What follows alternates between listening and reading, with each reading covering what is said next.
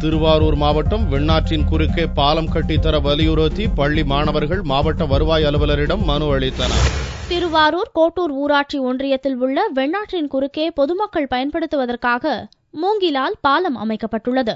இந்த பாலத்தை பொய்கைநல்லூர் ஆதிவிடங்கம் பூந்தோட்டம் உட்பட பல்வேறு பகுதிகளைச் சேர்ந்த கிராம மக்கள் பயன்படுத்தி வருகின்றனர். தற்போது மூங்கில் பாலம் சேதமடைந்துள்ள நிலையில் ஆற்றிலும் தண்ணீர் திறக்கப்பட்டுள்ளது. இதனால் மாணவர்கள் மற்றும் பொதுமக்கள் ஆற்றை கடந்து செல்ல முடியாமல் பெரும் சிரமத்திற்கு உள்ளாகியுள்ளனர். இந்நிலையில் அப்பகுதியைச் சேர்ந்த மாணவர்கள் வெண்ணாற்றின் குறுக்கே பாலம் கட்ட வலியுறுத்தி மாவட்ட கலெக்டர் அலுவலகத்தை முற்றுகையிட்டனர். பின்னர் தங்களுடைய கோரிக்கை அடங்கிய மனுவை மாவட்ட வருவாய் அலுவலர் தங்கராஜிடம் அளித்தனர். உடனடியாக வெண்ணாற்றின் குறுக்கே அரசு பாலம் கட்டுவதற்கான நடவடிக்கையை மேற்கொள்ள வேண்டும் என்றும் பொதுமக்கள் கோரிக்கை விடுத்துள்ளனர். பொய்யநல்லூர் ஊராட்சியில பள்ளி மாணவர்கள் வந்து இன்னைக்கு நேரடியா போய் கல்வி பெறுவதில் பாத்தீங்கன்னா மிகப்பெரிய ஒரு இடைஞ்சலா இருக்கிறது.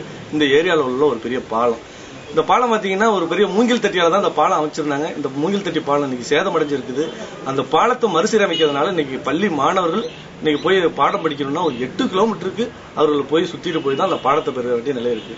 இந்த பாலம் கட்டுறதுக்காக போன ஆட்சியில் எல்லா கட்டுமான பள்ளிகளும் மெட்டீரியல் கொண்டாந்து இறக்குனாங்க.